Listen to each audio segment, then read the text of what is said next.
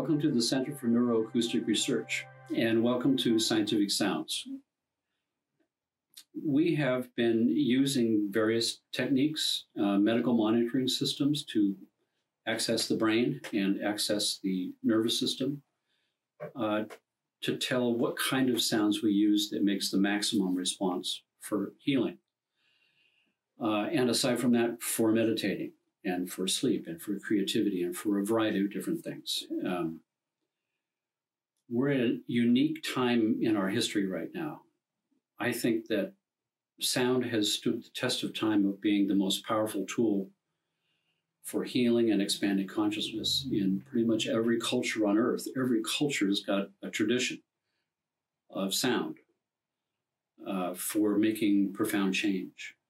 Now we've got unprecedented ability to measure what happens in the brain and what happens in the body when we expose you to different kinds of sounds. Um, and that can help guide us. And we've had new discoveries and new developments in our ability to control sound like never before. there are devices that can deliver sounds in ways that have never been possible before, in precision of sounds we use sounds that are accurate to a couple of decimal points. Um, and we can measure the change that happens in the body and in the brain.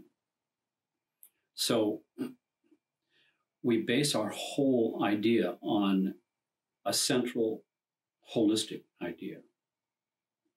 And that idea is that within each of us is a biological, organic intelligence that knows how to grow my body out of two cells and differentiate those tissues into everything that makes me what I am organs and glands and spine and brain and um, meridians, uh, all of it. All of those systems have been grown from blueprints that something inside of me knows how to read those blueprints and make and make it all work on automatic without me thinking about it the magic of how the body functions, the, the beauty of how healing takes place. If I cut myself, some magic thing happens where the blood stops by itself and a scab forms and the scab falls away, and pretty soon it's all healed up.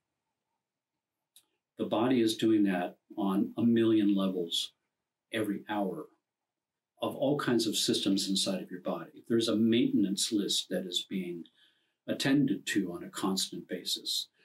The healing powers of the body are miraculous beyond belief.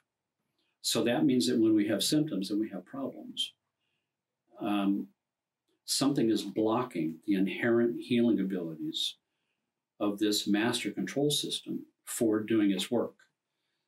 And we've developed systems to help unlock that healing potential on the inside of the body. And we're using sound to do it.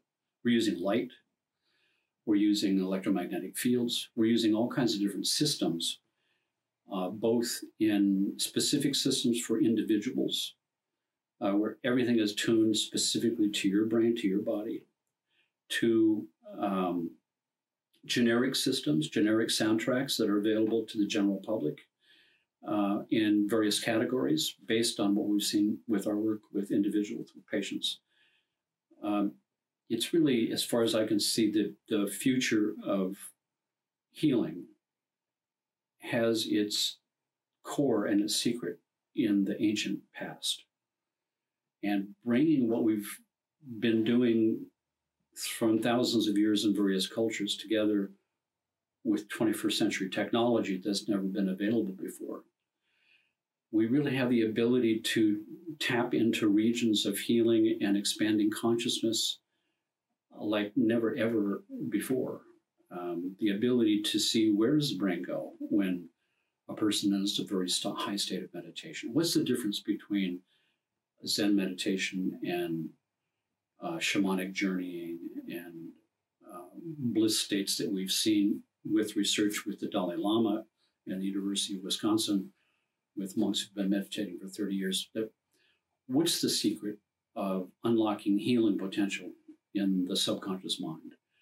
All of these things are now available to us and are have been in development and are techniques that we use right now every single day in practice with real conditions with real people. So, welcome to the future of high tech use of ancient technologies and sound for healing and expanding consciousness.